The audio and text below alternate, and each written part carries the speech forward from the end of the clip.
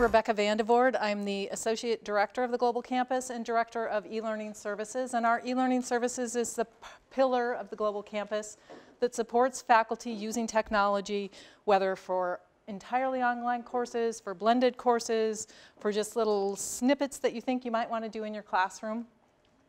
And we are interested in the flipped classroom concept a lot for that reason, but that doesn't mean you have to use technology to flip your classroom.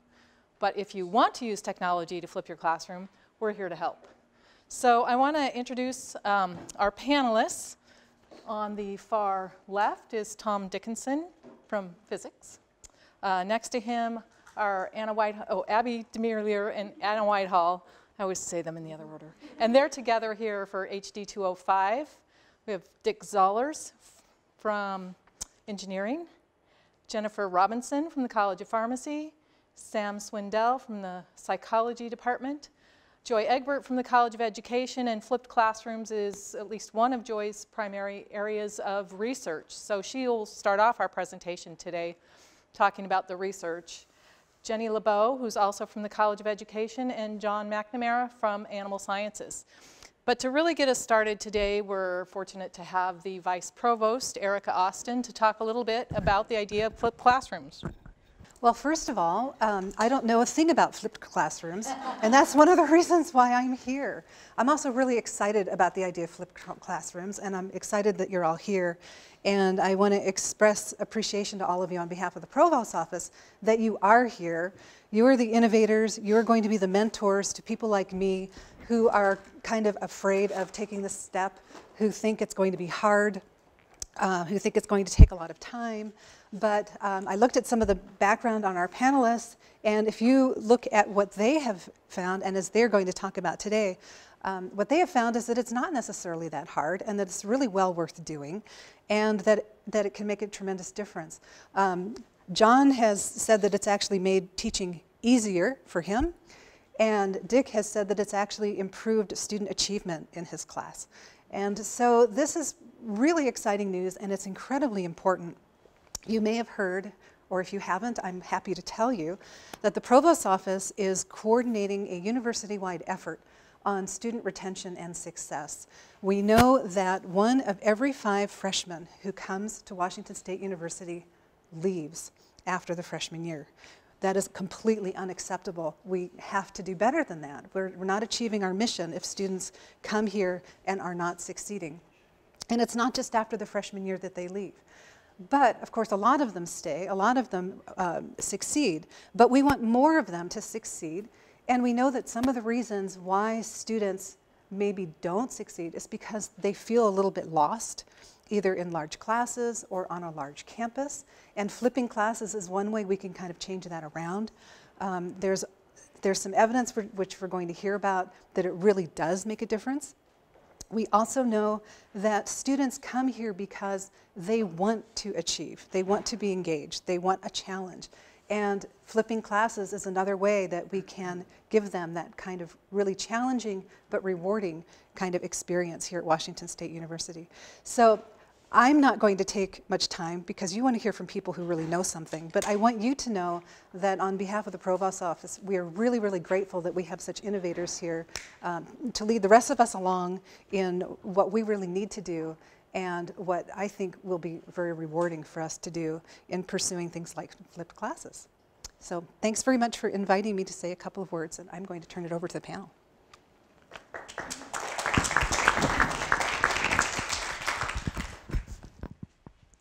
Right, so we're going to start with uh, Dr. Egbert, who's going to talk about her research. Um, she'll have about 10 minutes, and then each of the panelists, well, Abbie and Anna are a team. So each of the courses gets about five minutes. They'll talk about just real briefly what they've done. They've also provided, um, in the flipped classroom model, we tried to provide to everybody who'd registered some information up front so that you could prepare with questions. So about the first hour will be taken up with the presentations and then we'll have an hour for just open questions and conversation. And besides the group that we have here, I just want to point out we have about 10 people um, at a distance that we're streaming live and they'll also be bringing in their conversations and questions, and Theron DeRosier will be uh, monitoring that. And I would like to take just a minute to introduce my team. Uh, Charmaine Wellington is at the sign-in table. Theron DeRosier on the uh, computer there. Susan Fine is right back there, and Margie Fotopoulos back in the corner, and they are the e-learning consultants for the Global Campus who work with faculty who are using technology in their courses. And then Brian Mackey is our media guru who's made all this able to stream. So I will turn this over to Joy. One of the things I'm not going to talk about is not going to say in our research, in our research, because you know we've done a little bit and there's not a lot more. So what we've done, um, and David Herman is our TA for the course that we flipped, and he's working on flipped instruction for his um, dissertation. And uh, so I'm going to go through some of the things that we've learned kind of across the literature. First, this is not flipped instruction. Okay, if this is what your classroom looks like, it's a problem. Okay, and we can come, can you see that? It's upside down. You're supposed to laugh now. Okay, thank you. Um, yeah. A lot of people actually don't know what flipped instruction is, and it's problematic for me because, you know, when the term constructivism came along, no one understood what that was either. How many people now can give me a one sentence definition? No. Same with oh, one person, Rebecca. Okay, we'll talk about that after because I need that. Um, so a lot of people uh, have different definitions of flipped instruction. So we're going to go with kind of what is accepted across the literature. So the basic generic definition is instructional strategy in which direct instruction occurs outside of the classroom and interaction happens within.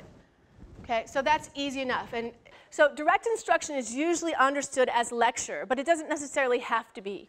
Okay, sometimes it's here's the worksheet, fill it out, th those kind of things. Let's take, this is the best video. It's four minutes, but it's worth it. It's the best video I found to describe flipped instruction. Oh, after this. Okay, sorry. Um, actually, I stole this from the internet, but I can't remember from who. Sorry, it's there. You, you can go find the attribution if you need to. So this is what actually flip. I, it could have been Bergmann and Sams, I'm not sure. Um, so it, it actually means something. It's not just flip like funk. So it integrates these things.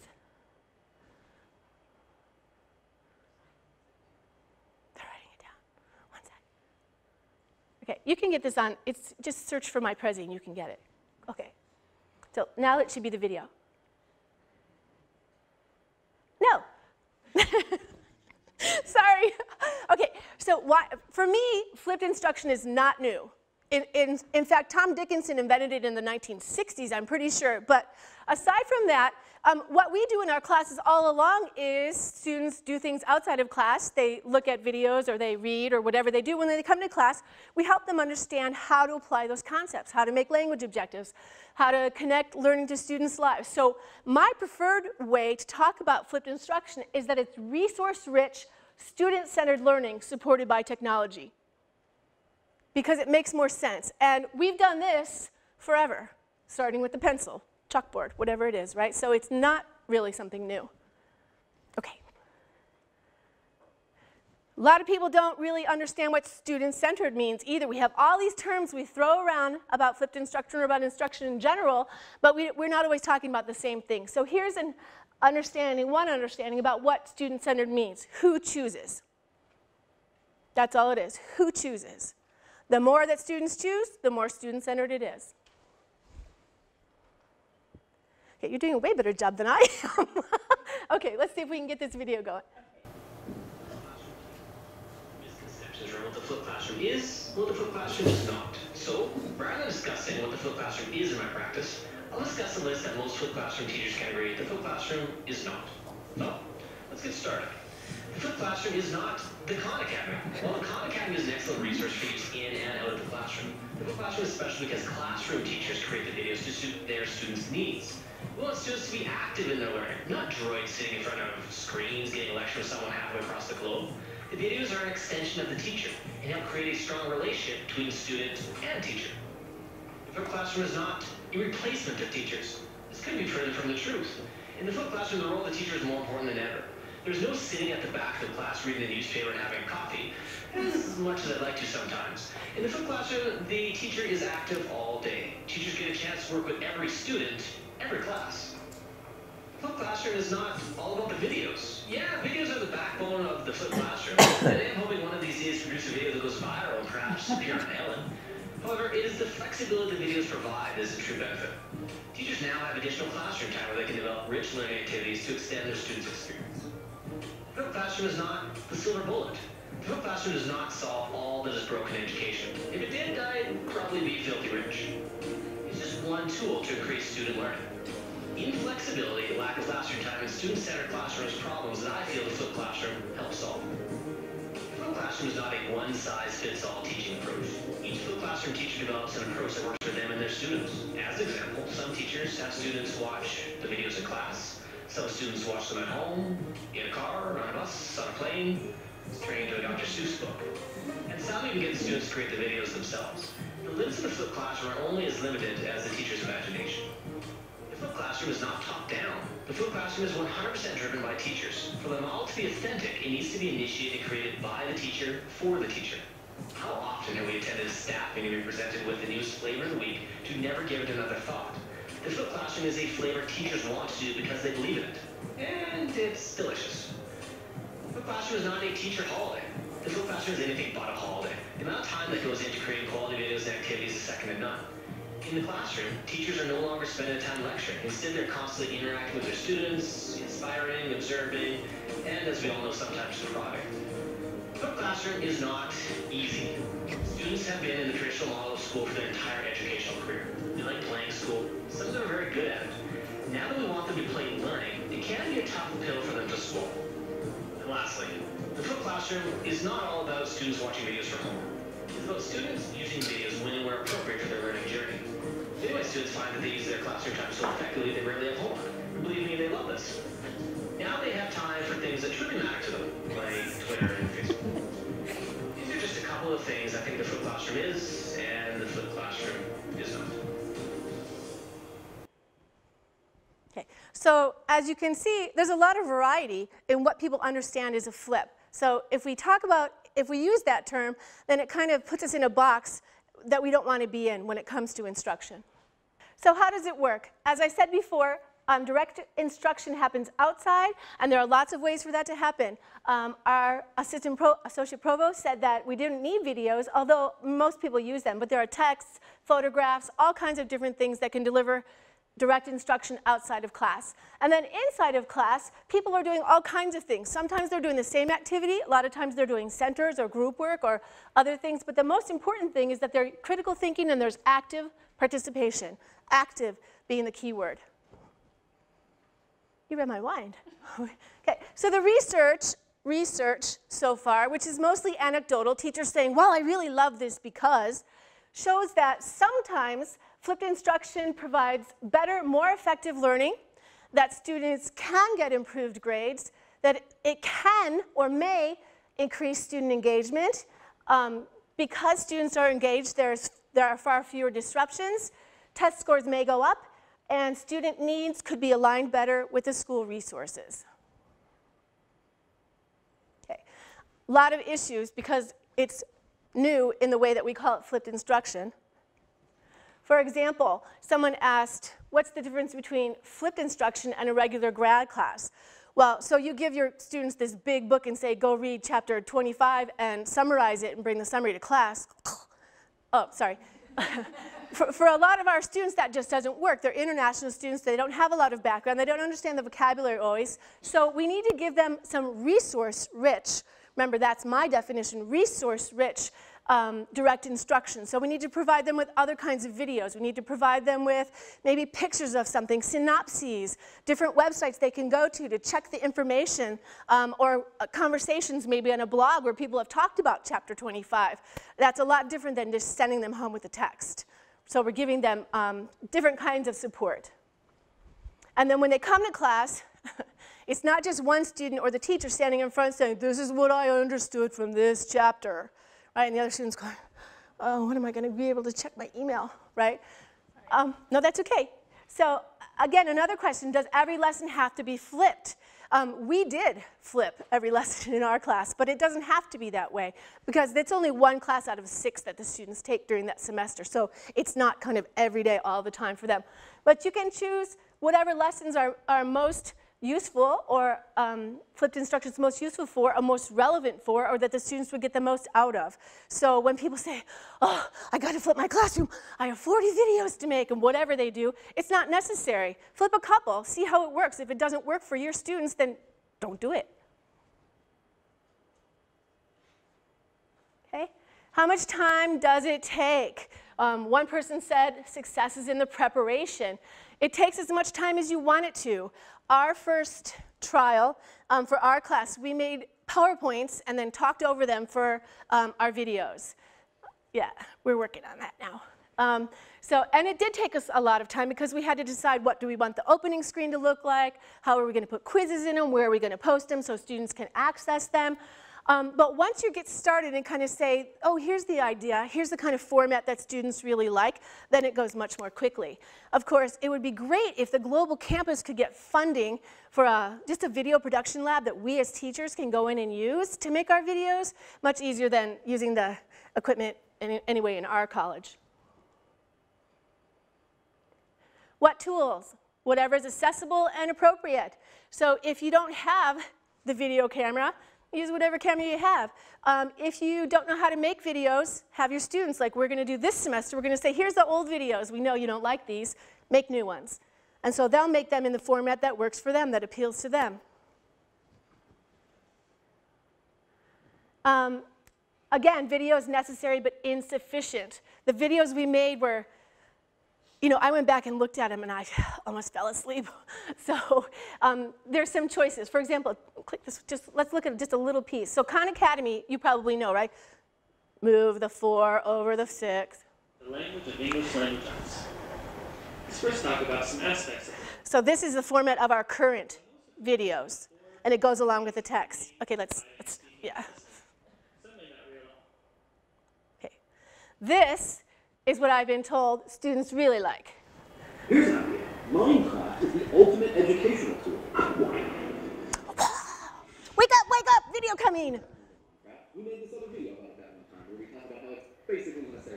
But in case you need a refresher, Minecraft is a computer game that can best be described as first Okay, so the idea here, this is SourceFed. Okay, you can turn off. It's much more of the way that our younger students, undergraduate students, watch videos. And I'm thinking that that's the kind of videos that they're going to end up with at the end of the semester, but we'll see. So it really matters um, if you want the videos to be effective to think about what are your students' learning styles, what do they do outside of class every day with video. YouTube is generally not this, except for the videos about flipped instruction. Next. Ultimately what we want to do, actually I'm trying to write a grant if anybody wants to do this with me, let's, let's do it. We have a couple other people in the College of Ed to get our own video production room, green screen, and we can do lots of amazing things, especially with like health ed and science and that kind of stuff would be fabulous. So something to think about. Um, one of the questions that I've gotten a lot on the website is, okay, we get how to make videos and all that kind of stuff. What are we supposed to do during class? Really? Okay, well, um, can you help students learn to apply, synthesize, summarize, critically think about the material in some way? Here's some websites to go to to get those materials. Um, and so that's the most important part, to plan the in-class time so that it's not wasted. And one thing to consider, and the research shows that, that students don't always like it, um, especially if you pop it on them like we did and don't say anything about it, and then expect them to know how to do it and to appreciate it more than other things that they do. So it has to be something that's eased in, that students understand why you're doing it, and that they have a voice in, as any other kind of instruction. And I was asked to provide one resource, and this is the Bergmann and Sams book. It's the, they're the kind of guys who said they invented it in the chemistry classroom. And so here's their book um, that has a general overview about two kinds of flipped instruction, uh, mastery and, what's the other one? Traditional. Like it could be traditional, but okay. Um, so that's resource. It's not based on research, other than research on what good teaching is.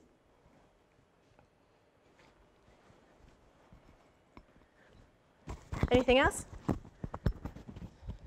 Uh, we have a website with our research papers. It's at the College of Education. It's called Flipped. So if anybody wants to look at those things. Right, thank you very much.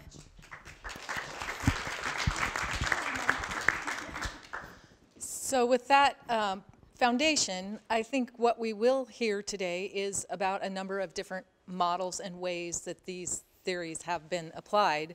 Um, and so I'm just going to start here at the this end of the table and we'll move down. And you each have about five minutes and I will wave in the back. I know how some faculty sometimes like to pontificate.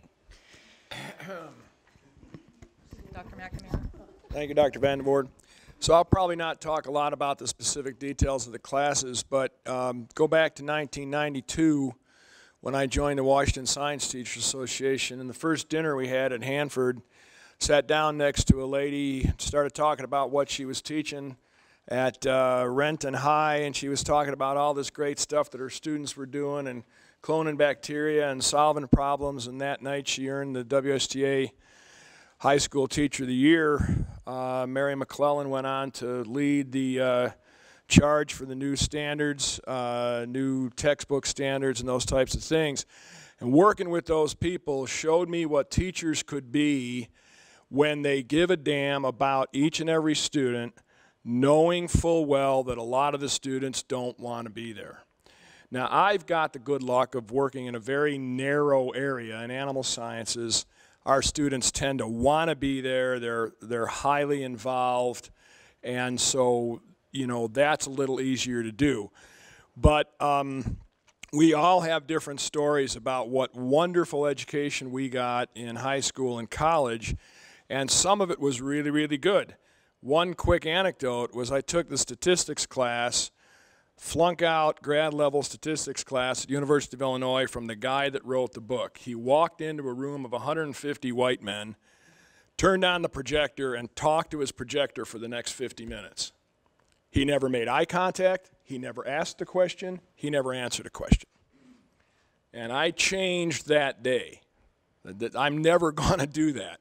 So the thing about making it easier, I kind of lied a little bit.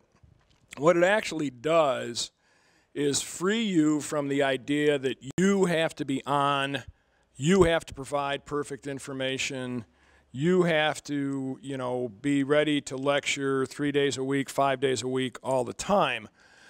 It certainly doesn't save you tremendous amount of time, I don't think, but I can say from um, my own students now for about 15 years in AS 464 and 10 years in uh, AS 205, which is a general education biology course. So that course is open to all majors and it has no prerequisites.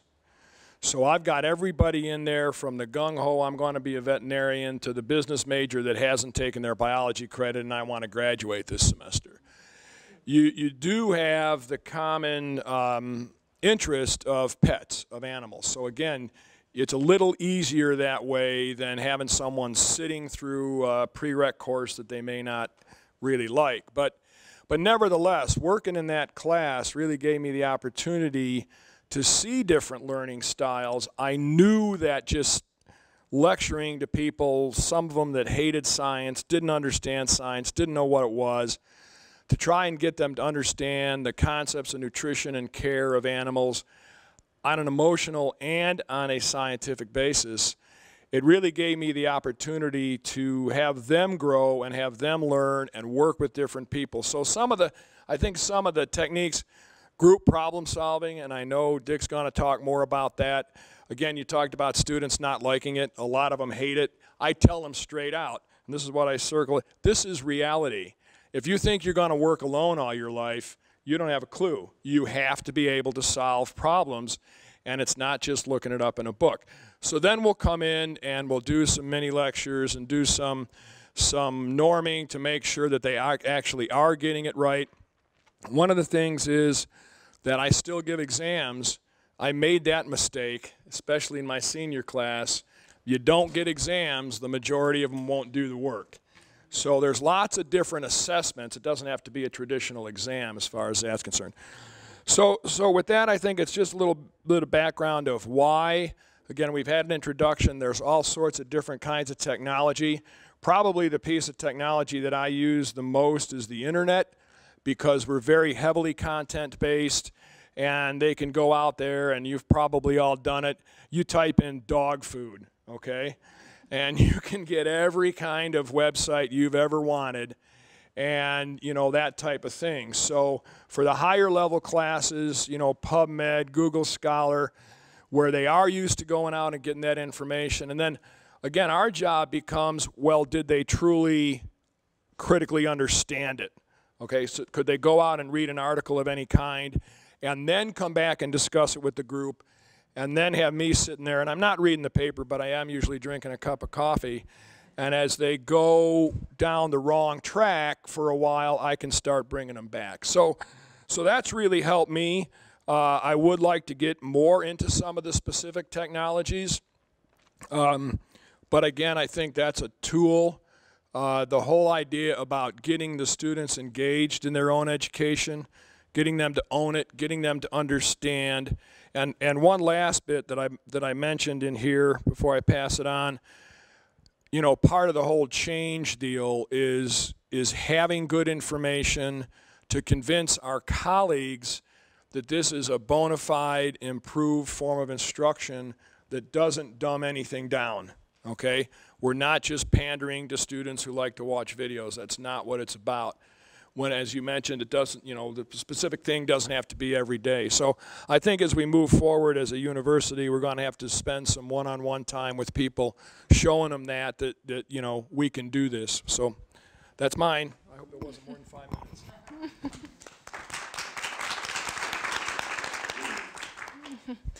Okay, um, so the class that I teach is EdPsych 570, which is Introduction to Program Evaluation. Um, and the course is designed to be um, content knowledge based as well as practical application because trying to teach evaluation by just reading textbooks doesn't really work. Um, so the course just historically has already had this application component to it. Um, the course is offered from 5:10 until 8 p.m. on Wednesday nights. So we automatically have, a, you know, everybody's tired, hungry. Um, so trying to boost engagement is sort of a big deal for this class. Um, the way that it's been structured in the past is we've had um, we've I've had the class from five until 7:30 at night, and then we cut out the break so people can get out early, um, just to kind of help with that. But one thing that I found in teaching doing it that way last year is there's just not enough time to cover everything that I want to cover in the class. Um, you'd think with three hours that would be enough, but there's just a lot of material. Um, so this year I decided to try uh, what I call a modified flipped classroom. I was actually hesitant to even call it that because I really didn't do much other than um, I took my lecture slides and I put them on the Angel LMS site and um, told students that they were responsible for reading those lecture slides and gaining the material that way in addition to the reading that they already have as well. Um, so I was trying to move that piece of it out of the classroom so that then I would have a little bit more time within the classroom. Um, and that part of it worked really well as far as offering more time. Um, so now what we do, we meet from 5 until 7, um, so just two hours, which is a little bit more tolerable um, than the three hour time period. And instead of doing an hour of lecture at the beginning of the class, which I did last year, now this year I spend the first part doing a Q&A discussion. So on also, um, in addition to the class, was on the LMS website, there are students are required to post a question from the reading and then also to respond to someone else's posting. Um, and the idea behind that was to help increase the engagement out of the class. And what I was hoping would happen with that is to have an ongoing dialogue so that we'd have different levels of interaction with the materials. So we'd have this Q&A where people, you know, students would be able to converse back and forth about what they're learning. And then they would be able to come into the classroom and we would talk about it during the Q&A session um, and sort of add to their understanding in that way. And then we have, for the last hour of the class, we do an application. So it's also a teamwork-based course. Um, they work in teams and do a class project throughout the semester, which is how they learn evaluation. Um, but so we still we have that last hour then for application. And so far it seems like it's worked pretty well. Um, as far as assessments go i i did a quiz um, last week and i was uh, we didn't really have a very good response rate. People didn't quite pick up on some of the content um, that i was really hoping which tells me that i'm just not um, I, I need to work a little bit harder at trying to incorporate the content part of the course and find a way to still get those connections made that need to be in there. Um, but a lot of it's just learning. You know, this is my first semester of trying it. So um, one thing I'm going to do for next semester is try to, or I guess it's next year, um, is try to actually record some videos, which now mean, I think I'm going to have to make them a little spicier than I was planning. um, oh, good. Okay, yeah, let's work on it. Um, anyway, so trying to put some con- some verbiage with the slides because just reading through slides, you get a little bit, but it's not really, you know, it's not overly helpful. Um, so adding that component and then trying to find a way to incorporate some other assessments or something to kind of make sure that we're getting the knowledge throughout the semester. But I think overall it's working well and I've had pretty positive feedback from students. Um, and think that's about it for now. I'm happy to answer questions afterwards.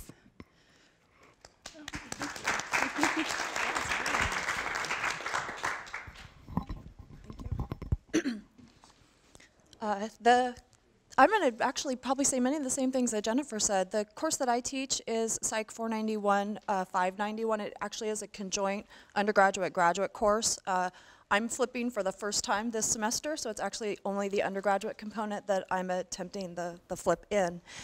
This course typically enrolls juniors and seniors. Uh, it's it is a content-specific course, and typically the content is fairly challenging for students.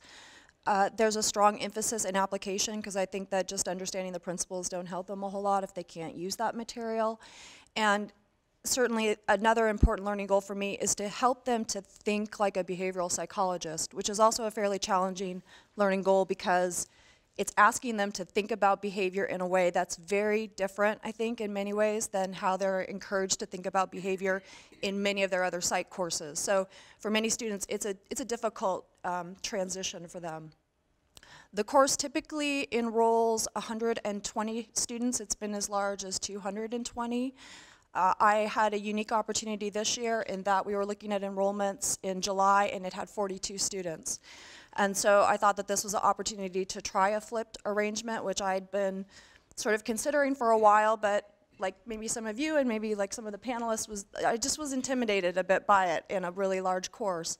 Um, and I'd been trying to make my lectures as interactive for years using things like clickers. I'd been to workshops for, say, the POGIL approach, and I just, I hadn't taken the plunge, as it were. So I have 42 students. I can't miss this opportunity.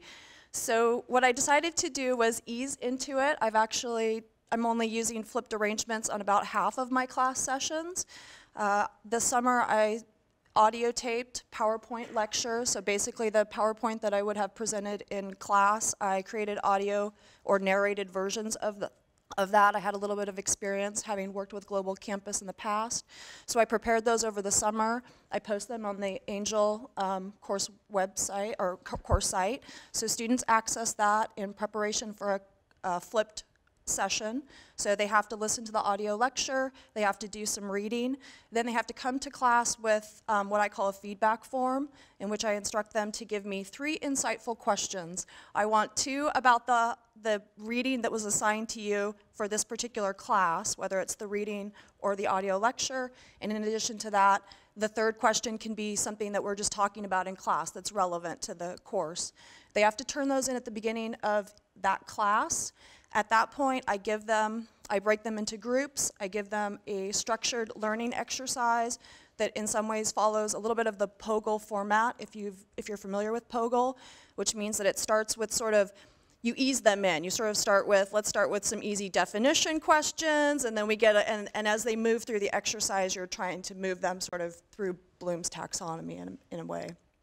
Um, while they're working in groups on the structured exercise, I'm reviewing the feedback forms, looking for common themes that are showing up, what was unclear about the material, um, what might I need to additionally clarify in class. Um, and that is working fairly well. You themes typically pop out um, across those, uh, those feedback cards. They'll work for about 25 to 30 minutes. I'll be working the room after I've reviewed the cards, see how the groups are doing. Uh, sometimes I'll instruct them to stop at a certain point. We're going to regroup. We're going to come back as a class, discuss, okay, what are your answers? Sometimes I have them working on all of the same things. Sometimes they're doing different things. Um, so maybe groups one, two, and three, you're going to work on this set of questions, and then you're going to come up, send a, a member of your group to the board, and I want you to put down your answers, and then we're going to talk about who, who seems to have the right answer and why. Um, and, and then at the end of that, the flipped class, they turn in what I call the master form. So the group has to submit uh, a, one of the structured exercise handouts with the answers that they worked on, which they get points for. They also get points for the feedback forms. Uh, I don't really grade those in terms of accuracy, but it's more just a way to motivate participation and make sure that um, you know they're engaged in the activity. I have to say, I've been incredibly encouraged. My students have been fantastic. I feel like I told them on day one, we're going to try this. It's my first time.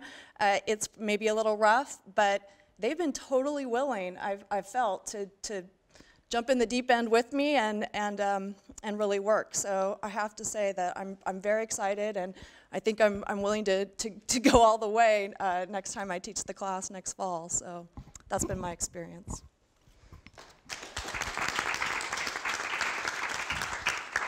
I'm Jennifer Robinson. I'm from the College of Pharmacy, and I promise I don't always sound like this. So I'm going to limit my comments, one, so I don't completely lose my voice, and so I don't grate on anybody's nerves completely. So I'm from the College of Pharmacy, and this is my sixth year with the College of Pharmacy. Uh, for a number of years, I've been teaching the Applied Patient Care course, where students, we really want to push them to apply information and think higher level um, think at a higher level. And so my first few years of teaching, my first three years, I would come to the end of the year, I would scrap everything that I was doing because I was so frustrated because I felt like the students weren't learning. I would assign readings and they would come to class and I felt like they weren't completing the readings. So I would spend my class time recovering the readings while they were checking their email or they were on Facebook. So I got really frustrated. So I heard about this new theory, new to me, wasn't new at the time, team-based learning. So team-based learning is a uh, iteration of a flipped classroom, and it's very structured. So uh, six or seven times during the semester, my students get a quiz in class. That quiz isn't based on anything that I've taught them in class. It's based strictly off the readings, and that quiz builds into their final grade. Um, and all of the quizzes are based off of clear objectives from the readings, so it's very clear to the students what the expectations are. After they finish taking that individual quiz in class, they then have to take the same quiz in a team. And so if you guys know anything about motivation, peer pressure, Students do not want to look like they don't know the material, especially pharmacy students, in front of their peers. So they will, will work their fannies off to make sure that they understand the readings, they understand the basic concepts, and come to class prepared. So all of a sudden, I had these students who were coming to class. They did the readings, they understood the material, and then they would start challenging my quiz questions. Well, in the reading, it actually said this, and I interpreted it as this. So I think you should give me that quiz point back. And then we would have this discussion within lecture or within tutorial. And um, so I had a group of 100 students, and they were in teams of five to seven. I thought, wow, these quizzes are really powerful. That wasn't the powerful part. The powerful part was when they moved on to the application exercises. When I took these students and I moved them up Bloom's, where I put them in groups and we started talking about these concepts to a higher level. I would give them cases, I would have them work through the cases, and then I would ask them, okay, do you think the answer is A, B, C, or D? And they would read through all of the answers. Sometimes two or three of the answers could be right depending on how they defended it. And so in class, I would have each of the team hold up a card to say what they were voting for, A, B, C, or D. And then um, I would go around the room and they would defend why they chose that answer. Why is that current therapy the best for a patient and why didn't you choose the other ones? So the students were applying the information that I later would expect them to do on an exam. The interesting thing that I found, the students who got most frustrated were my high performing students. The students who got least frustrated, who benefited the most, were those lower performing students. All of a sudden, they were understanding the concepts to a higher level. Those students who were just on the verge of not quite getting a concept were pulled up by their teammates. And you would think, okay, were their teammates frustrated by this, that they had to help su support this other person's learning? And really, they weren't. They were in the same teams all semester, and they worked as a community. Did it always work perfectly? No. Uh, did it take a lot of time to prepare? Yes, the first year it took quite a bit of time. When I rolled it into my second year, uh, during the first year, I made some tweaks after every quiz and after all the application exercises. So when I rolled it out the second year, it was quite a bit easier.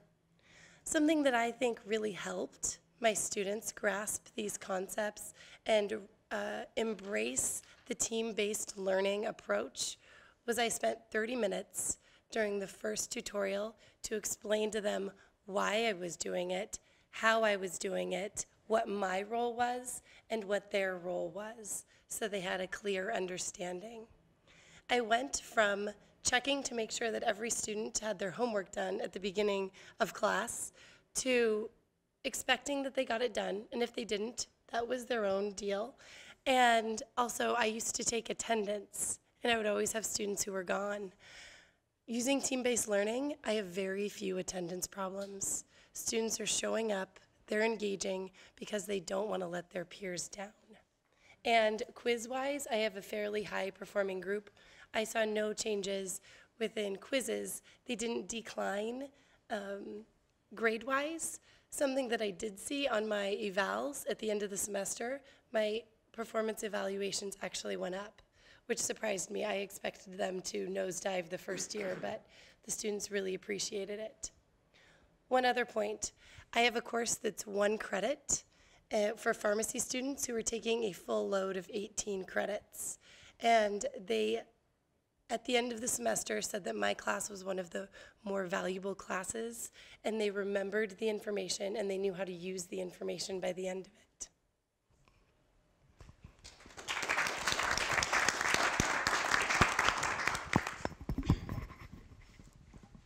I guess I have a, a slightly different take on a lot of this. The course that I teach is a first semester sophomore level class in chemical engineering. Um, for the past few years, the enrollments have been going up significantly. I have 114 students in the class this year. And the reason I got involved in the class was if I took a look back historically in the enrollments in the class, you have to get a C or better in order to continue on with uh, future classes in the curriculum. And 35% of our students were not making a C.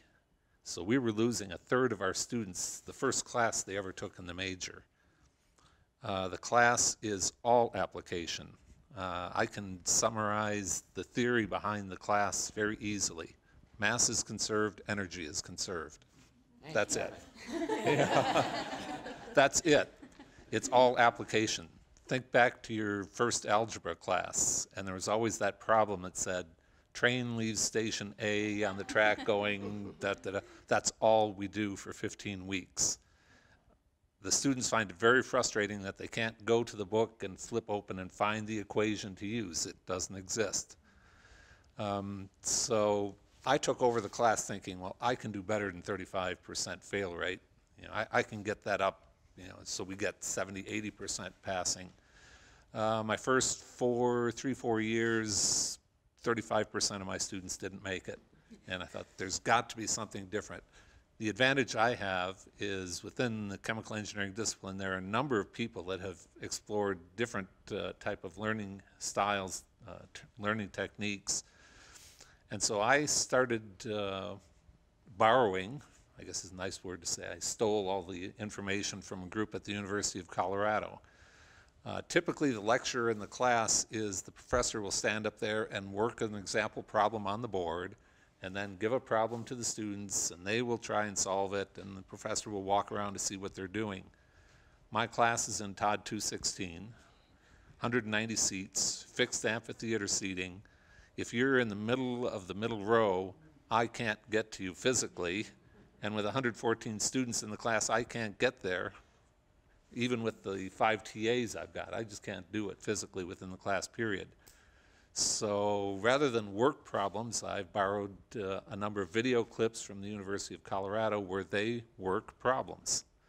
It's the bad example that uh, was shown earlier. This is just someone writing a problem out and explaining it as they go, but that's exactly what I would have done anyway. So I tell them, here's the reading for the next class period. Here are the video clips you should watch. When they actually come into the classroom, I basically do nothing but uh, clicker quizzes. And it's over the material from the book, over the material that they should have seen in the example problems. Um, attendance, I have no problem with attendance because participation works and I don't have to take attendance. My usual uh, explanation to the students is if your clicker is not in the classroom and working, then you're not here. and they, they find that very quickly. Um, the one thing on the uh, clicker quiz problems is they're all concept based, so they really require almost no computation at all. The, I guess the key factor in working the clicker quizzes, especially if you're trying to test concepts, is obviously the right answer has to be in there, but you have to have good distractors. Uh, I just had an example last, uh, two weeks ago now, um, posed the question, the clicker responses came back. One of the things I will do is if I don't see a strong preference for the right answer, I'll repoll the question, but now tell all the students, okay, talk with the people around you and see if you can't come to a consensus as to what the correct answer should be. This distractor was so good that the second time around, it got more votes than it did the first time around. But as a teaching moment, it was great because now I could go in and say, okay, here's the point you're missing. And that's really what my time in the classroom is spent doing now, is we'll do the quiz. If everyone gets it right, there's no point in doing any further discussion about it. We'll go right on to the next question. If I find one where there isn't agreement, I'll ask for the repolling. If everyone comes up with it the second time around, then I'm assuming that all of their peers are helping the ones who were picking the dis- detractors, distractors, um, and getting them online. If everyone is missing it, then it's time for me to step in and intervene. So that's basically what my class has become over the last two to three years. Um, the one thing that I think maybe some of my colleagues find a little bit intimidating to do that, when I walk into the classroom, I have no idea where the lecture is going to go for the day questions that I think are going to be a real challenge for them, they find right away. Things that I think are going to be simple, just absolutely stump them. And so I have no idea what I will actually be doing in the classroom on that given day. Um, as far as student acceptance, last year was the year, first year I really fully flipped the class. And I got probably the lowest teaching evaluations I've ever had. And the comments were, Dr. Zollars didn't teach us anything. And so when I started the class this year, I said, the purpose of this class is not for me to teach you something. The purpose of this class is for you to learn how to do something. And it's your responsibility to do it. Um, hopefully that will make a difference. But the one thing I was able to tell them this year, that 35% loss ratio that we have had over decades, and it's not just unique to WSU. I talk with my colleagues, it's the same in this class everywhere. Last year, when I fully flip, flipped the classroom, that was only a 20% failure rate. And so I told them, would you rather have a one in three chance of not making this class or only a one in five chance? And they all agreed the one in five sounded a whole lot better to them. uh, the other thing that I'm and have done last year and I'm following up again this year, uh, I'm working with a colleague in double in actually computer science, Chris Hundhausen, and we're actually starting a uh, an investigation really this year where students submit homework assignments online. We can then send it to other students in the class anonymously, and the other students in the class critique the solution that they see. They have to make a comment before they can see what the other people critiquing the solution have said. Then as a group, they come to a consensus that's sent back to the original author who is then allowed to modify their solution. And so it's a way of getting group involvement without actually getting groups together. Uh, no one actually knows who the other people in their group are, um, but it seems to be working very well.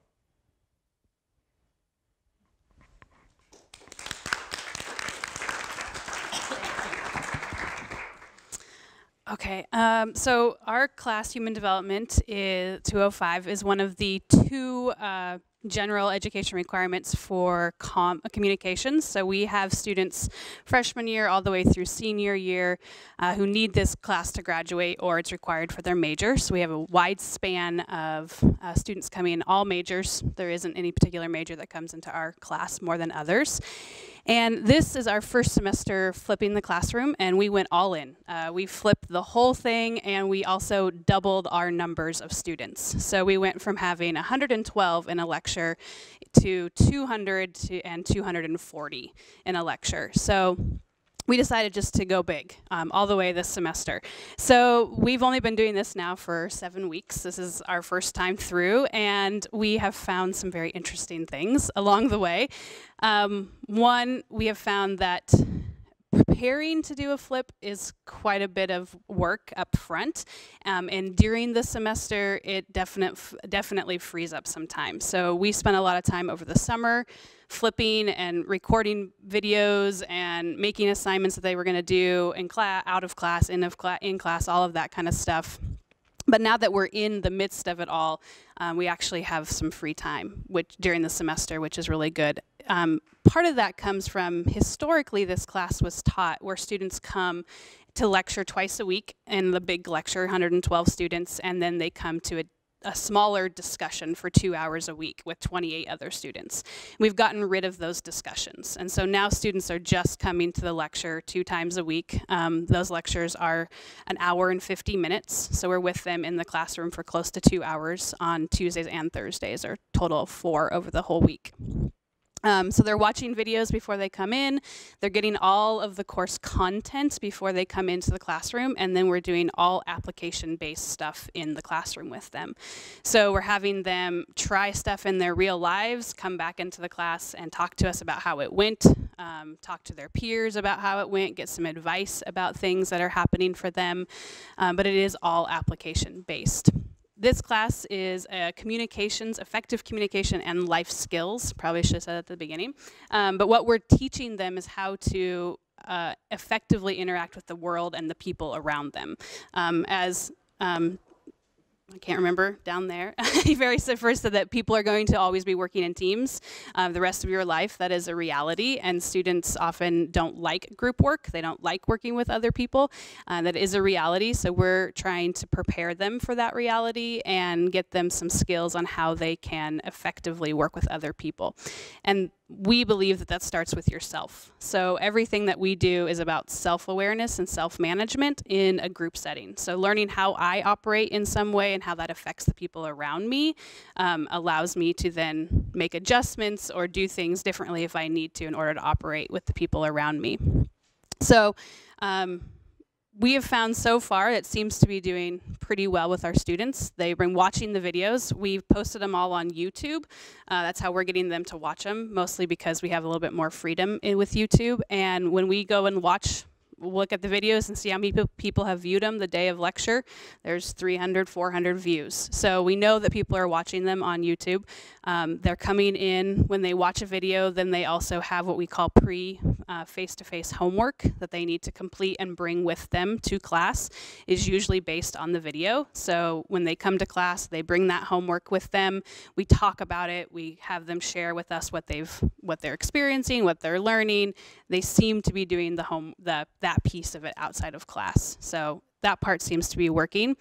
Um, attendance wise, I know that's a big issue or a big question about this, we've had mixed results on the attendance. Um, in our morning section, it seems to have declined, and but in our afternoon section, it seems to have increased. So we're not really sure what that really means, but that seems that is a kind of a something that we're noticing in the class. So I'm going to let Abbie add anything if I miss something. I think you covered most of it. The main thing that we've been um, able to do in our flipped version this semester is add a lot of different learning modalities. So we're doing the voiced over PowerPoint videos, we're doing Tegrity videos, we're using Powtoons, we've used Socrative and done some text-based interaction with students real time in the classroom. And I think that's been kind of our signature part of the flip is that we're not only doing the video content outside of class, the application in class is still meeting them where they're at because they want to be on their tablets or laptops. They still want to have access to their cell phones. And we're using those as teaching tools rather than um, distractors that we have to overcome in the limited time we have now with them in the face-to-face. -face. So that's been really helpful. In terms of um, content interaction, we're still really early on, but one thing that Anna and I were talking about that we've really noticed is that in our morning class, we've noticed that the students tend to have viewed the content beforehand more frequently than our afternoon section and don't have as many questions in face-to-face. but in the afternoon, we have a lower view rate pre-lecture um, but they have more in-class ahas and awareness because we've been doing some POGILs and some other um, group-based interactions through our application activities, and that's when the lights really come on. So maybe they only viewed half of the video, but in talking with their peers through the application application-based learning, the ahas are almost bigger and stronger. So that's been really interesting for us. All right.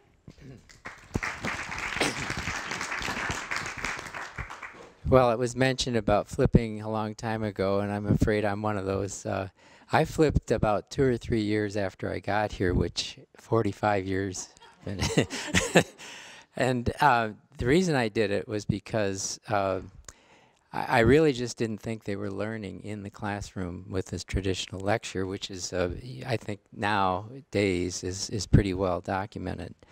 Um, so, and these were with motivated students. Um, so what happened was uh, I, I, used a, a, a very uh, progressive form of technology for them to, to, to work on outside of class, and it's called a book. and back then, they knew how to open a book. Uh, this, this time of uh, the students today, I'm not even sure they know how to buy one. but anyway, uh, the result was very uh, promising, and uh, I did it as much as I could, but because of my research, uh, it kind of waxed and waned. So uh, my last laser died about a year ago, so I said I got to find something else to do. So I started uh, using the, the web, and uh, what it bought me was some critical time in the, in the class, face-to-face, -face, which I, I couldn't believe how effective it was and really how much fun it was. It really was a lot of fun. And the difference was that um, I could answer questions that come up in physics because they're trying to solve problems. It's the problem solving that we emphasize. Uh, there's very little me memorization. Uh, you know, we heard about mass conservation and things like that, and energy conservation. It doesn't take long to get that, but to use it, it really takes time. So that's that's the major difference. And um, one thing I think uh, we have to emphasize is that if you're going to start doing this, you have to ask, why am I doing this? You really have to know why you want to do this. Uh, we have so much publicity with the MOOCs, and I, I, have been following this very carefully. And actually, if you're interested, I have uh, I send out um, basically like a blog, the, the uh, articles that are coming out, uh, just email me. It's JTD, JTD at WSU. Uh, be happy to put you on. And uh, the thing that I think we have to be aware of is that there's good and bad in all of this. Uh, there's some things that that don't work, and um, one thing that I think we'll probably get during the question period is uh, how effective are these online lectures in terms of do students watch them? Do they do they really view them carefully? And uh, it's mixed. And what it boils down to is is what I've heard here, is we we have basically a you know sort of a bimodal distribution of motives, ability, background, and so on. And in physics, that's the case. Uh, we have this group at the top that's just fantastic. They'll go on to graduate school. They will make us famous, a lot more than our football coaches.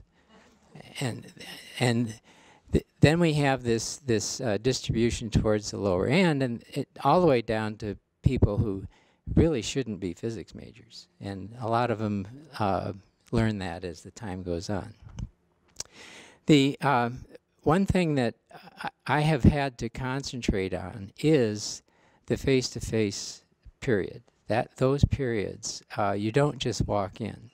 Uh, it is true you have no idea what's going to happen, but you have to have a little bit of structure. And the first thing, of course, is answering questions. Um, you have to have some uh, way of getting probing their understanding so that there has to be a way to interact in such a way that you probe this. I do know groupies. Physicists don't like groupies. They, work on their own. Uh, now, occasionally they have to build a bomb or something like that, and they form a groupie. But a lot of uh, our work really is independent work. And so, you know, we just don't do it. And I'll tell you, frankly, the times I have tried it, it eats up too much time. It takes too much time. So that's why I don't do it. And um, the other thing that I do that's probably a little different is I do demonstrations. And they love that. And what I found is that in the earlier times when I used to do demonstrations, they loved them, but they didn't understand them. They didn't really understand what was going on in terms of the physics. With this small class, oh, by the way, it, uh, what I'm teaching now is a uh, electrodynamics class. It's a junior, senior level. So I've only got like 15 students. And so therefore, I'm the TA. Uh, I'm the person who meets with them uh, for the uh, face-to-face. -face. In bigger classes, uh, you have TAs or mentors doing this. Mentors, by the way, in physics are people who couldn't get a job. And so they're doing this as a way to get some income. Nevertheless, you're getting some pretty good people to do that. Are we doing it? No. Uh, WSU in physics is not doing that. But if you go to the majority of places that are using, for example, MOOCs as the lecture part and then face-to-face -face for the other part, uh, they're using these, these uh, mentors or TAs. Um, the other thing that I find important is that they always have trouble getting certain problems started. And so I'll help them with that. I'll never do the whole problem, but I will get them started on that. And so that's a, that's a big thing. I give a quiz once a week, and I always give them the solutions immediately. And that is very effective because they have struggled with the problem. Some of them have gotten it, but a lot of them have not. And they that is an aha moment when you when you show them how to how to do it. So the uh, the uh, other thing that is a little different is I give them one day off. So I only have two sessions uh, per week for the face-to-face. The reason is because the online lectures, which are just uh, voiceover PowerPoints, are extremely intense. They have to go over those things three or four times in order to really get it. And they love the fact that they can restart it, go over it, and that's a big thing. That's a very big thing. Um, and they can email me questions. I, I, tell them that, you know, if it's after midnight, forget it. Uh, but they do email me questions, and if I can, I will, I will answer them uh, pretty much uh, at the moment. So uh, those are some things. I haven't told you everything, but uh, in terms of the response, uh, the grades didn't change at all. Uh, they didn't go up, they didn't go down. Uh, in terms of what I think they've actually learned, I think they've learned more, but it's all anecdotal.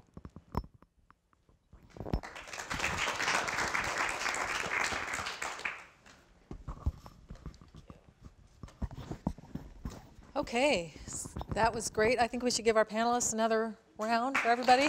Thank you very much.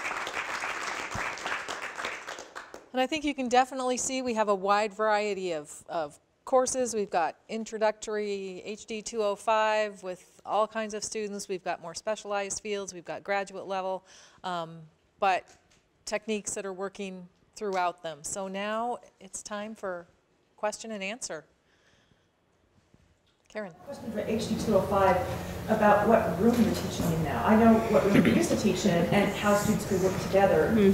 But with double enrollment, obviously you don't fit in that room anymore. So how do you physically have group work with 240 students? Well, uh, for the afternoon session, which is the 240, we're in Todd 130, um, which is an interesting room in and of itself. Uh, and when the weather has been uh, agreeable, we've gone outside in the courtyard that's right out there in between Todd and Fulmer. There's that big quad area. We go outside and do some of our um, interactive experiential activities. We've also utilized the space in the room where we do have them move around the room, um, get into small groups based on a row that they're sitting in, and so the rows work together. Um, we've done uh, activities in the hallway and coffee cart area there in the Todd Atrium. So we kind of bend and flex depending on the weather and depending on the attendance on a particular day. We have had days that was lower attendance, so moving was definitely easier. And some of the things that we ask them to do and to interact with one another don't require physical physical movement. Some of it is just discussion based if it's POGIL. Um, so only one person would get up and go to the board and write an answer. Some of them have been um, through the Socrative app. So it's texting and they send it to us and they see it happening real time on the um, projector. So they don't have to physically move to interact. Would you add anything? Darren, do we have any questions? Um, we had one participant asking if we were going to have any workshops um, on designing and setting up flipped classes. Well, as a matter of fact, we are. So, um, yeah, I'll just say briefly, I was going to say this at the end, but we'll we'll be following this panel. We, we were hoping that this panel would be a kickoff to really inspire and motivate and show people that your peers are doing this on campus. It is doable. Um, we'll have a series, I think, of four workshops uh, coming up. Two of them really to talk more specifically about different models and designs of flipped classrooms, give you some ideas of how you might do this, to what extent you might want to, you know, deep jump in the deep end or just wade in the shallow end.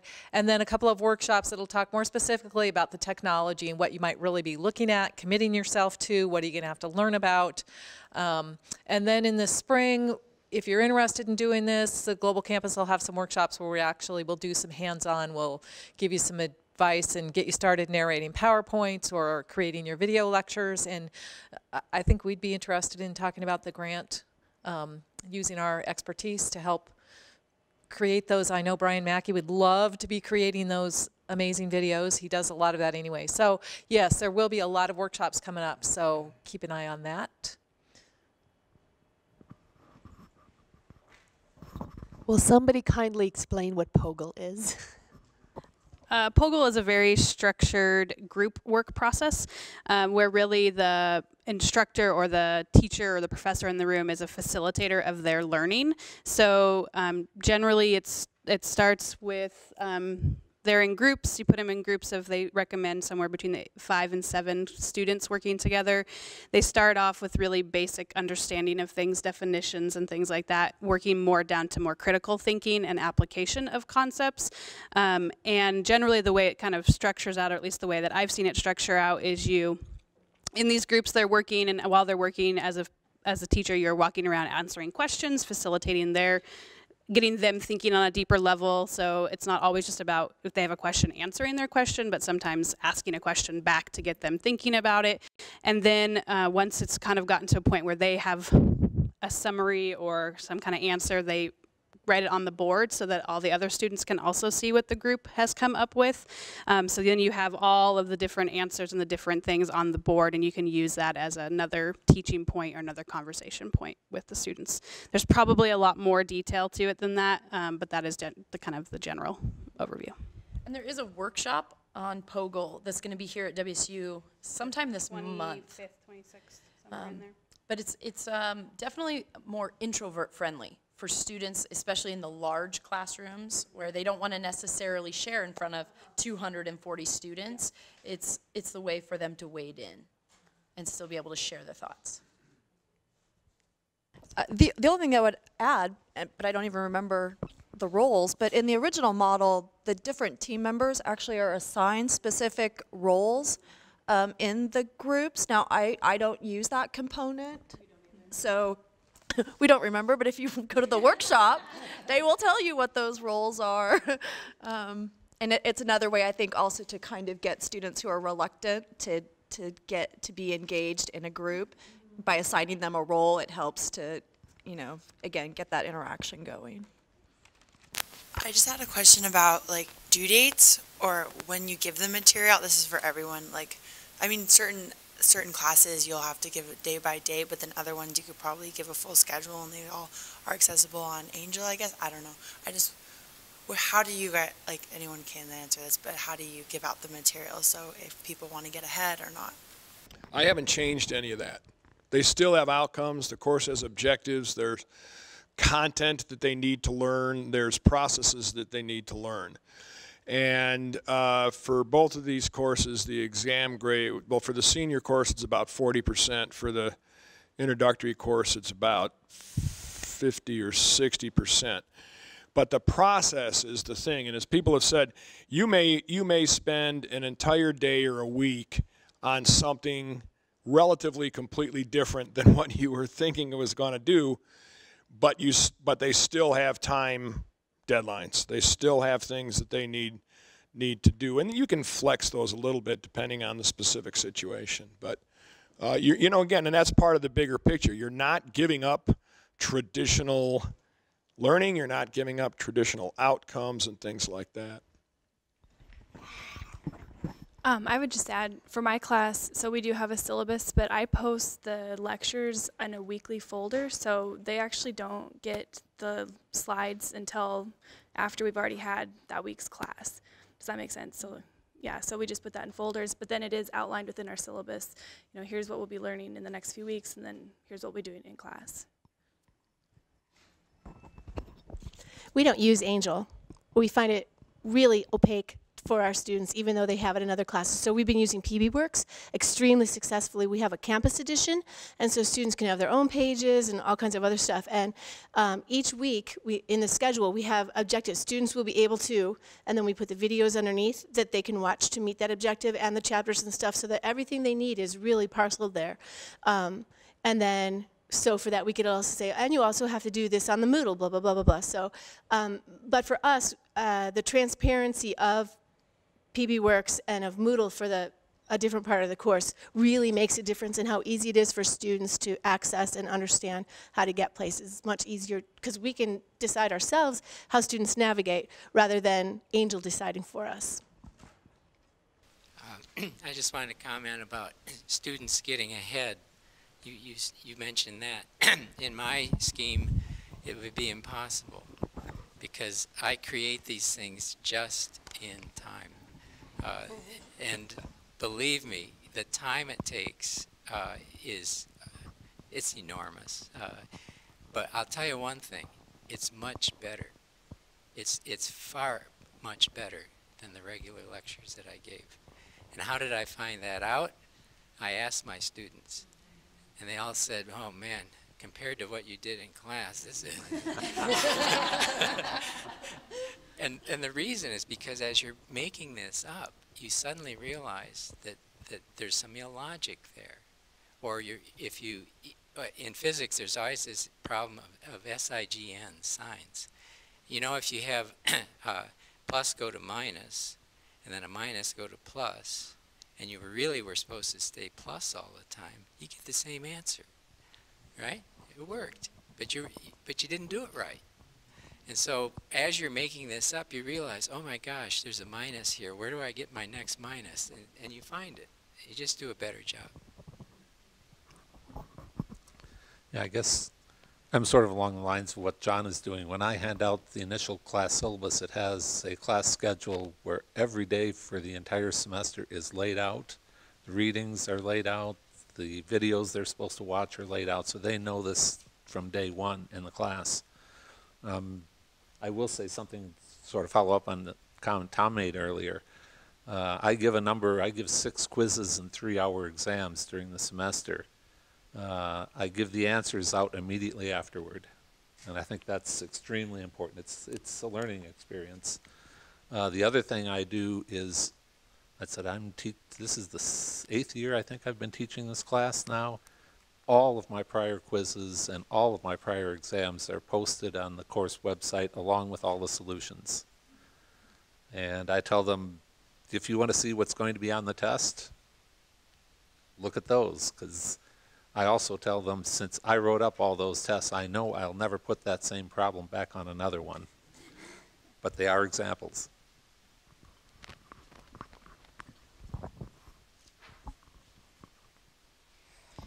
We were just going to add for HD205, we also do the syllabus. Everything is laid out day one. But on Angel, we only um, open the content a week in advance so that they can't get too far ahead because we don't want them rushing any of the content. We want them to be on point when they're doing the application.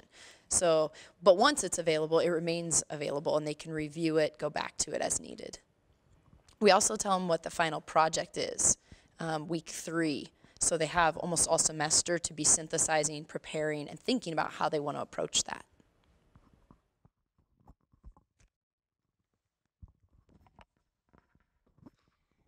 I include all the required readings. There, it's going. Uh, I put all the required readings in my syllabi, and then for the students, I have them for an entire year.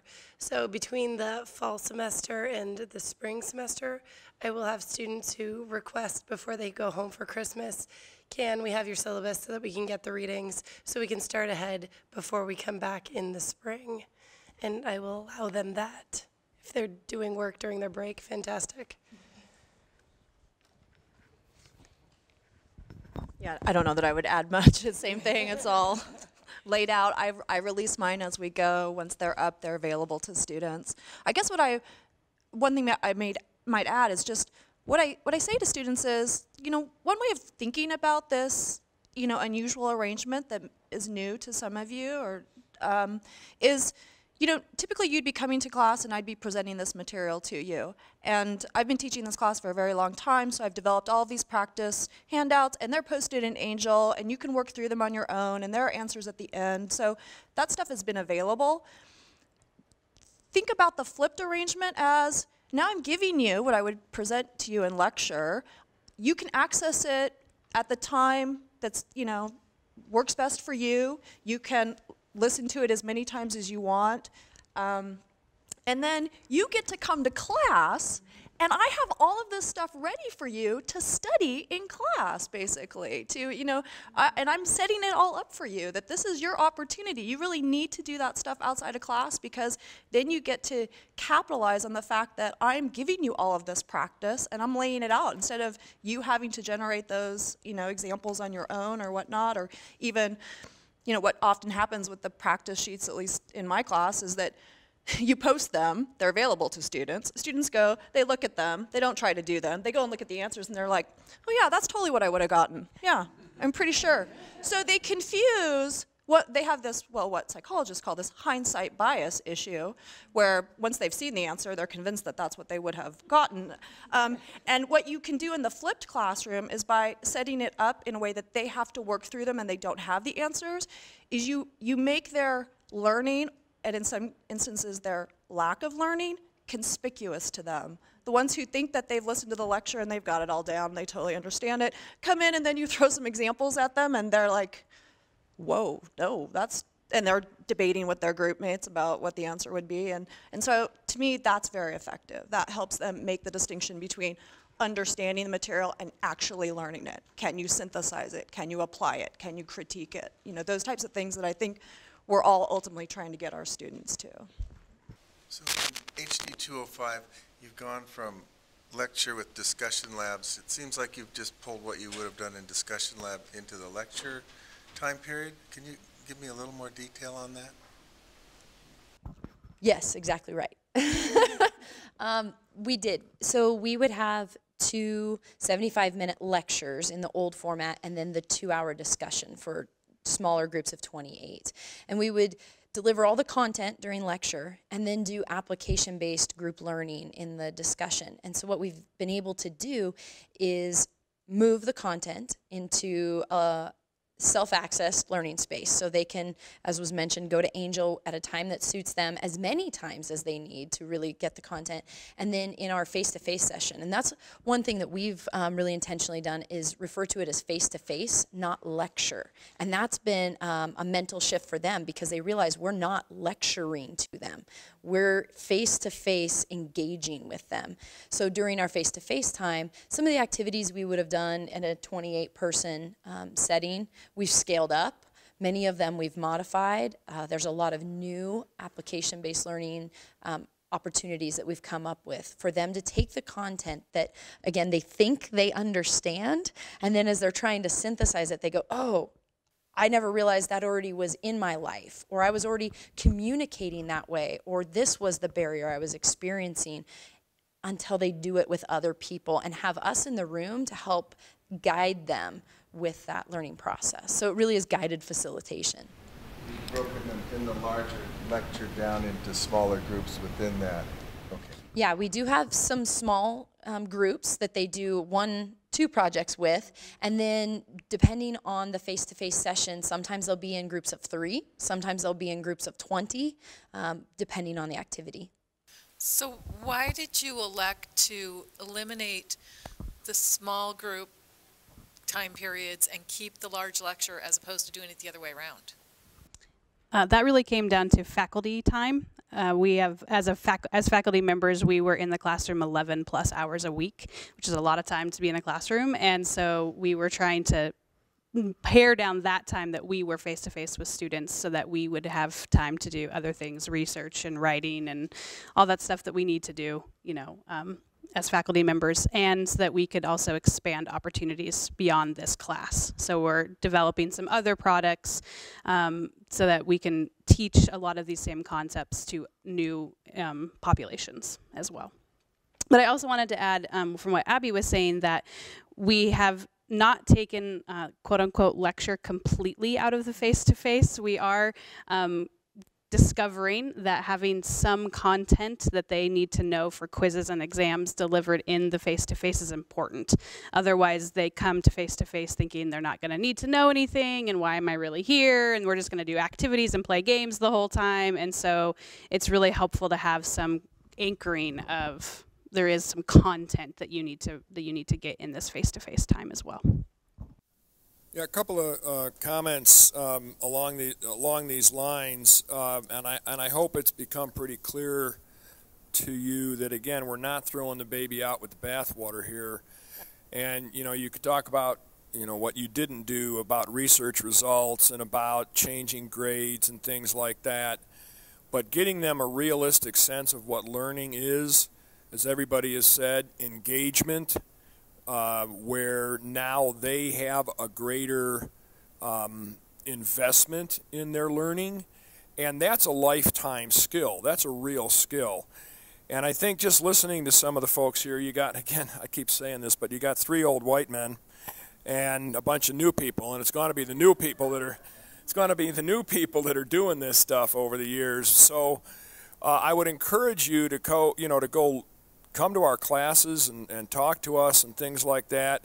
And maybe you can get over that activation energy sometimes. But, you know, had we been having this conversation 10, 12 years ago, there would be a line of people saying this is just all BS. This is just all party time. They didn't just come. said. They They didn't didn't, they didn't come. come. Yeah, they didn't come. Uh, no, listen, by far, Y- y- the y- majority of faculty members thinks e-learning is not for them, and they don't want anything to do with it, and in fact, that they have negative uh, feelings about it. So, just to be clear, it's not a done deal. The last group that will adopt any e-learning will be the graduate course faculty, the ones who are teaching. And I, I realize some of you are doing it. I'm talking about. But I think to get over that, but I think to help get over that, and it, it won't be everything, that, that I think there are a lot of good examples out there. And Dick brought one up of clickers. You know, clickers are pretty simple, but I've seen that used in a different university to the west of here in their 700 seat auditorium for, you know, bio whatever. And the prof using those things just like you did. Okay, here's reality. And, you know, it's a random generator. And okay, now you can talk. And the whole auditorium is a buzz with, you know, all these conversations. And then boom. And uh, that's a simple thing, but it's extremely effective. So, anyway, if you do want more information or uh, some good examples, you know, some of us might even want to come and talk to your department if you want to do that. Because I do think we've got some, some good examples here of, of success. Just a few points. Uh, when I started doing this with my students, I uh, requested a few of my faculty peers to come in and help me test drive some of this process. And I sat down and I had them do a quiz with me, and it was exceptionally effective. And there are a few faculty members who are still considering maybe changing their approach because sometimes it takes a while to, to make that change, make that decision. But with HD 205, you guys mentioned that you had 11 hours of contact time a week. I had the very same. I had 11 hours. And I went from three or five lab sections, and I was able to decrease that down to three. And then I was still looking at increasing my numbers. So 20 person um, in discussion groups to 30 to 40 because the larger groups were actually working better. You know, I've seen the resistance of a lot of the faculty to doing anything new like this. Um, the one thing that I think I would try and sell them on is I think you've heard from most people here, we're not covering any less of the curriculum than we did. I mean, we're covering everything we used to do. I found that it's rejuvenated my teaching. Um, you know, as much as students don't like hearing the same lecture over and over again, as a faculty member, I was getting bored doing the same thing over and over again. This is fun. I, I really enjoy doing it. Um, so if you're thinking, well, there's some resistance, you just have to convince them that it's it makes teaching a lot more fun.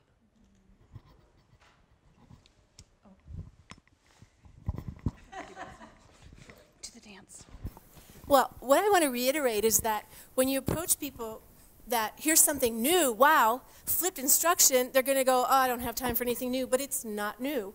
Here's here's concepts of good pedagogy. Are you doing are you applying these in your classroom? How? If not and you need some information about how to apply these, let me know. I have some good ways in my class. is always a better way to get buy-in from faculty than saying, here's a new thing, you need to do it because we're doing it and the university is supporting it, blah, blah, blah, blah, blah. So really, I don't want to hear flipped instruction again. I want to hear, you know, student-centered, resource-rich, or something like that. Let's come up with a new acronym that stands for the old thing, because that's what it is. That there's there might be resistance out there. Um, Time Magazine, the October 7th issue, was about the class of 2025, and there was an article in there about online learning. And they actually said that the resistance percentage has diminished from 43% to 23% faculty-wide um, in their polled group. And the other thing, um, there was a Nobel laureate, uh, Carl Wieman, um, he did a study on flipped versus traditional learning, and he actually found that students that were in an interactive, and I, I emphasize that, an interactive flipped classroom did twice as well as the traditionally taught students of the exact same material. So it is possible. Those are also, by the way, big classes. Yeah. And so the small groups were TAs or these mentors. So It's not the instructor who has to go to, you know, 25 sessions. Yeah. Can I just say? Yeah. Uh, one thing that I th- I've found um, that has changed is that the the typical mode of learning is to go to class, really not learn very much, and then cram. Cramming is the the number one method of learning at most uh, traditional uh, class types. So what you're avoiding with these smaller groups is that you can continue to put them in a situation where if they haven't listened to the lectures, it's, it, they're dead meat. They just can't keep up. They can't do it. So I think that that's an important factor. I, I don't, somebody who studies these things can say what cramming versus not cramming does, but I know it's not very effective in terms of long-term uh, learning.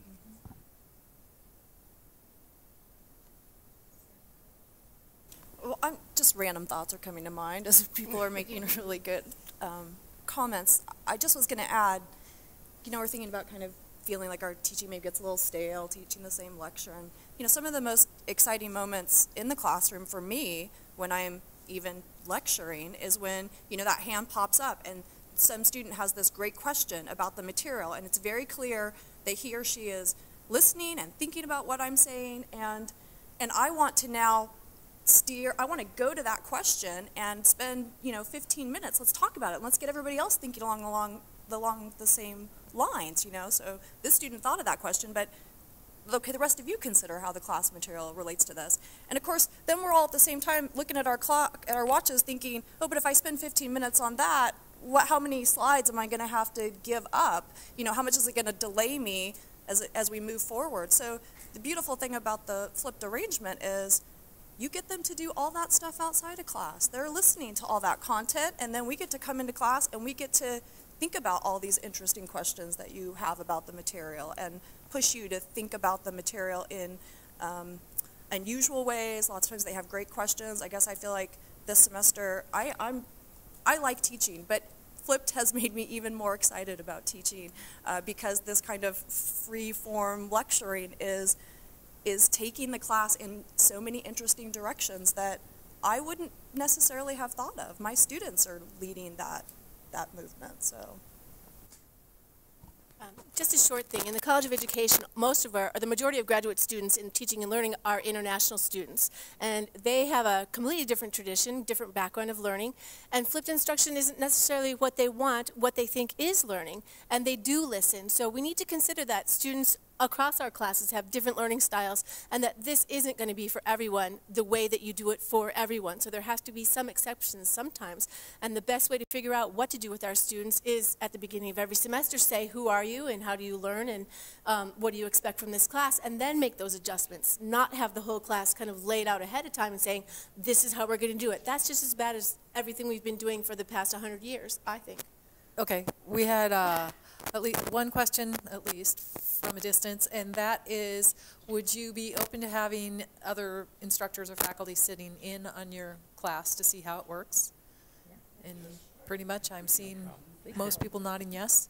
And Okay, well, this has been fantastic. We will be doing more workshops on flipped classrooms and using the technology, and um, This also is, will be archived, recorded, available on our website, which is teach.wsu.edu.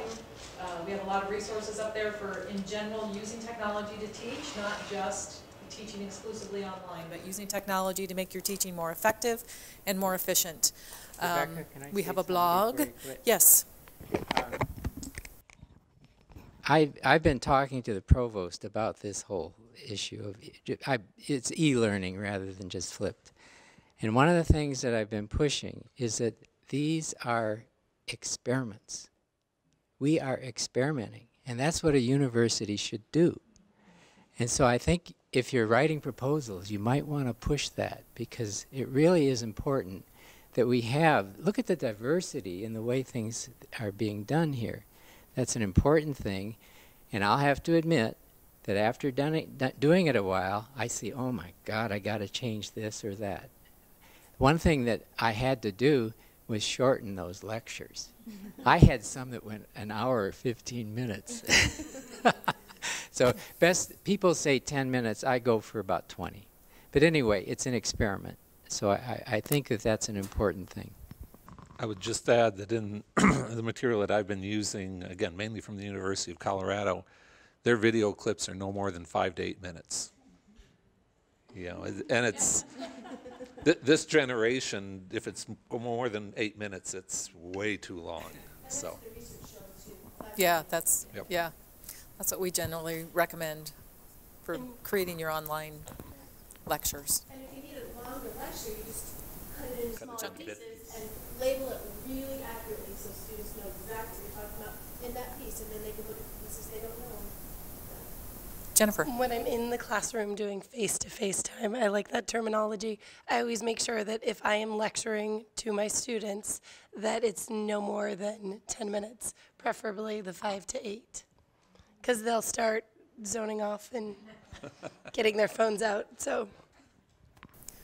So we'll um, email the link to the presentation to all of you. Hopefully you can pass it on to some of your colleagues. And I just think, you know, we just need a groundswell. Um, we'll send it to chairs and associate deans and see if we can get people talking about this more and just looking at different ways, like I think what Joy said, is looking at our students and who are they and how are they learning in this day and age and what do we need to do to really promote that learning. So if there's no more last minute comments or questions, I just really want to thank the panelists for giving up your time to do this. It's very much appreciated. And to all of you who've attended and to all of you online who've attended, um, this has been great. It's very exciting. So we hope to do more.